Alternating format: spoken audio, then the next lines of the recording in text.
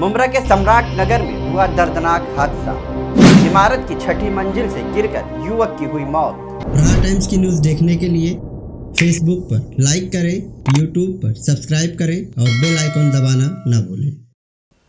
मैं इस्लामुद्दीन खान और आप देख रहे हैं प्रहार टाइम्स।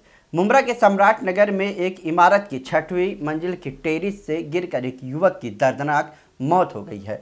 हादसा कल यानी कि 16 जुलाई की रात करीब 9 बजे से 10 बजे के आसपास में हुई है। ऐसी जानकारी मिल रही है कि युवक का नाम राहुल बगड़े है, जो कर्नाटक के उमनाबाद के पास एंजोली खेड़ी गाँव का रहने वाला था, जो अपने नानी शांता अक्का के घर सम्राट नगर केबीएन बिल्डिंग के पहले मंजिले पर रहता था। बताया जा रहा है कि नानी के घर कर्नाटक से लॉकडाउन के पहले आया था और अपने माँ बाप का इकलौता बेटा था।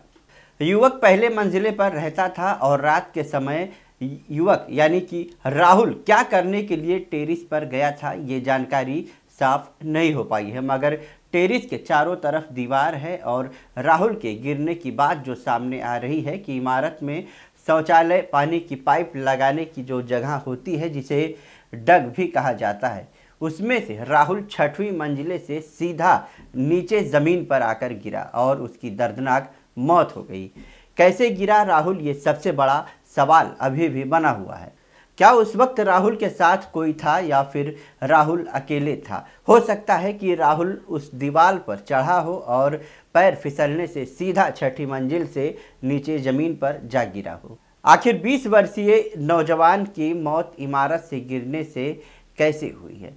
हालाँकि हमसे परिवार के किसी भी सदस्य से बातचीत नहीं हुई है, मगर जो इमारत के रहने वाले लोग हैं और स्थानीय लोगों ने बताया है कि परिवार के लोग शव लेकर कर्नाटक अपने गाँव चले गए हैं। सभी असमंजस में है कि रात के समय राहुल टेरिस पर क्या करने गया था और कैसे उसकी गिरकर मौत हुई है, सही जानकारी किसी के पास नहीं है।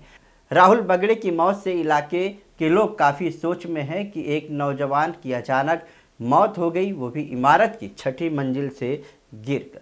तो तमाम खबरों को जानने के लिए देखते रहिए प्रहार टाइम्स।